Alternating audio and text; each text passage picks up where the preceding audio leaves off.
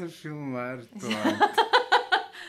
Estamos aqui até às duas da manhã hoje. Sim, para vos oferecer a melhor ficção nacional que vai estrear dia 7. É já na próxima segunda-feira. Não percam.